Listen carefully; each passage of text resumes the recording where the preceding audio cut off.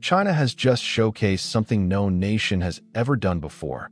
Five distinct stealth fighter types flying together in one breathtaking demonstration. From the heavyweight J-20 in multiple new forms to the agile J-35, this was more than a show of aircraft. It was a declaration of technological confidence and rapid evolution.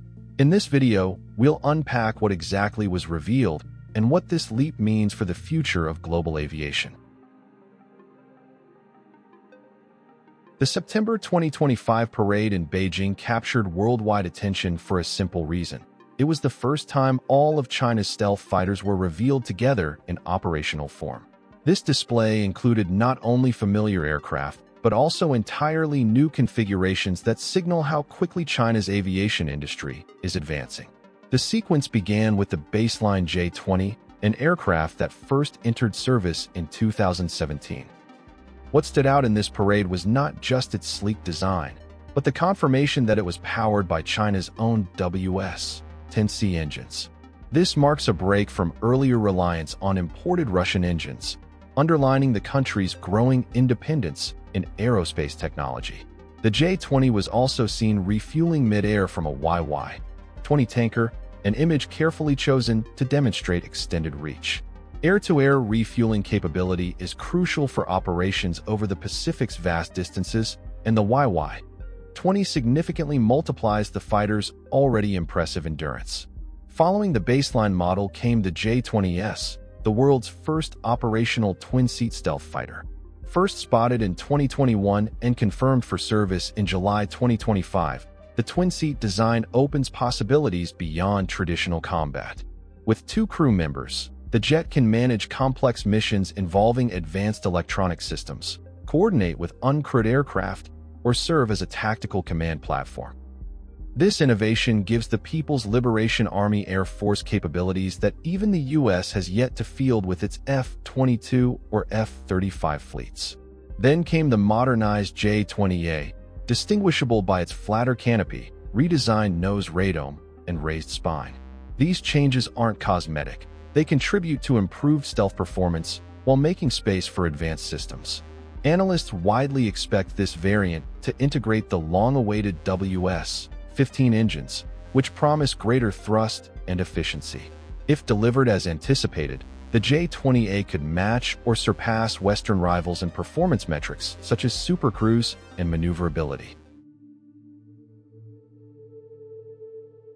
Beyond the visual spectacle, the September demonstration carried a deeper meaning.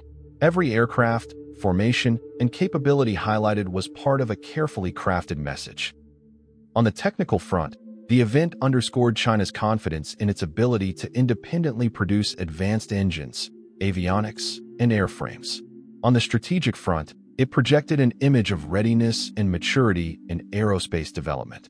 For domestic viewers, the parade was a moment of pride. It emphasized self-reliance, most notably, the shift from imported engines to homegrown power plants like the WS-10C and soon, the WS-15. Citizens could see tangible proof that their aerospace sector has grown from imitator to innovator in just over a decade. Internationally, the demonstration was equally significant. By unveiling three J-20 variants and two J-35 variants at once, China showed it is not merely catching up with Western aviation. It is offering a new kind of diversity no other nation fields. The United States may boast the F-22 and F-35, but both are single-seat platforms without twin-seat stealth or parallel procurement of two distinct fifth-generation designs. This unique mix sets China apart as a leader in experimentation and expansion. Equally important was the pairing of stealth fighters with support aircraft like the J-16D, a specialized electronic warfare platform. The inclusion of this aircraft alongside the stealth jets emphasized that modern air power isn't just about the fighters themselves.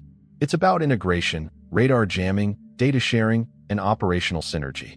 When stealth jets operate with dedicated electronic warfare assets, they gain an edge in suppressing defenses and coordinating larger missions. Another crucial element was the air-to-air -air refueling display. While the jets themselves are impressive, their effectiveness is magnified by the YY-20 tanker. Refueling allows extended patrols, long-range missions, and operational flexibility across wide regions like the South China Sea or beyond. By showing this mid-air, China highlighted its growing ability to sustain fighter operations far from home bases. The strategic implication is clear. China is positioning its air force and navy not just for defense, but for influence across regions. While the parade highlighted today's achievements, it also raised important questions about tomorrow. How long will these fifth-generation fighters remain the pinnacle of China's aviation, and what comes next?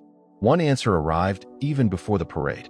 In late 2024, China revealed not one but two sixth-generation fighter designs at flight prototype stages, signaling its intent to move beyond current designs. Although still in testing stages, these aircraft are rumored to feature adaptive cycle engines, next-level stealth, advanced sensor fusion, enhanced networking abilities, and even potential laser or drone swarm integration. If they enter service in the early 2030s, they could quickly shift focus away from the J-20 and J-35. Their introduction would fundamentally reshape not only how China approaches air defense, but also how global aviation competitors respond to the next technological frontier. This creates a balancing act. On one side, China is ramping up production of J-20S and J-35S, ensuring they become the backbone of the Air Force and Navy. On the other side, resources must be preserved for the sixth-generation leap. Analysts suggest that once sixth-generation fighters prove viable, production of current models could taper off in favor of the newer designs. The September event may therefore represent the high watermark of fifth-generation expansion before the pivot begins. This transition phase will be crucial because it will test how effectively China can manage both immediate operational readiness and long-term innovation simultaneously. There's also the question of doctrine. With two stealth fighters in parallel, China will need to define how to deploy them most effectively. The J-20's role as a long-range interceptor and command platform may pair well with the J-35's medium-weight flexibility, but the coordination of these roles in large-scale operations remains a learning process. Crafting this doctrine will be just as important as the aircraft themselves, since advanced tools require equally advanced strategies to unlock their full potential. Ultimately, the road ahead is about transition. The J-20 and J-35 represent the maturity of China's current generation of technology, while sixth-generation prototypes represent the next horizon. The September 2025 parade wasn't just a showcase of power today. It was a signal that tomorrow is already being carefully prepared for and shaped, with decisions made now influencing air power for decades. What we saw in September was more than aircraft flying in formation. It was a turning point in modern aviation. China is now the only nation operating two stealth fighter types in parallel, supported by a network of refueling and electronic warfare assets. This makes its air fleet not only diverse, but also deeply integrated. The true story, however, lies in what comes next. With sixth-generation prototypes already in view, today's cutting edge may soon be tomorrow's stepping stone. The parade was both a conclusion of one chapter and the opening of another, reminding the world that aviation is evolving faster than ever. If you enjoyed this video, don't forget to like, share, and subscribe for more updates on space exploration and scientific discoveries, and don't forget to leave a comment below. Also, you can visit our website, spaceeyenews.com. Thank you for watching, and see you next time.